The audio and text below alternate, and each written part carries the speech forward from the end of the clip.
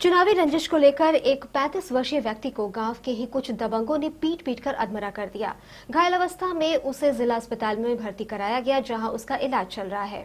गोला थाना क्षेत्र के जंगल सरया बेलवारिया गाँव निवासी संतोष कनौजिया को बीते प्रधानी चुनाव के रंजिश को लेकर गाँव के ही एक दबंग प्रधान शिव कुमार यादव के इशारे पर उनके गुर्गों ने पीट पीट कर अधमरा कर दिया। पीड़ित संतोष ने घटना के पहले कई बार वर्तमान प्रधान की शिकायत गोला थाने पर किया था, लेकिन पुलिस ने उल्टा उसे ही डरा धमका कर भगा दिया था, जिससे उत्साहित दबंगों ने आज इस घटना को अंजाम दिया।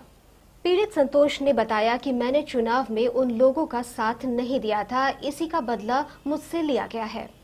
चुनावी रंजिश प्रधान जी जो हमें हमारे जो हमारे प्रधान जी हमें उनके हम वोट नहीं दिया नहीं तू कहना कि हम अगर जीत गए नहीं तो तू के मार के मुआ नहीं खदेर नहीं और प्रेजेंट टाइम में वो जीत गई ना।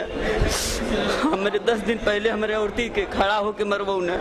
और आज हम भागल रहनी है, काल घरे गए नहीं है सबसे गाँव वालन से घेरवा के मरवा दिया न। जो कि जमीनी विवाद है थोड़ा।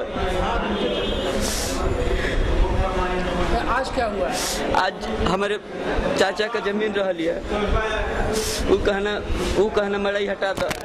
वो कहना मड़ई हटा दो।